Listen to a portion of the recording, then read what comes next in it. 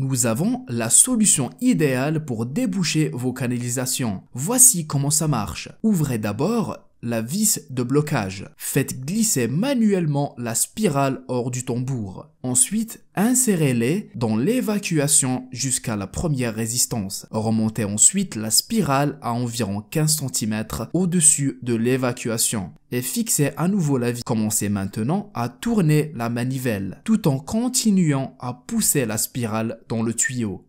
Répétez cette opération plusieurs fois jusqu'à ce que la spirale soit à plusieurs mètres dans l'évacuation. Prenez maintenant la perceuse sans fil et placez-la sur l'accessoire de perçage. Maintenez la spirale d'une main pendant que vous démarrez la perceuse de l'autre. Enfin, retirez la spirale de l'évacuation en la faisant tourner. Ouvrez la vis et insérez simplement la spirale dans le tambour à la main.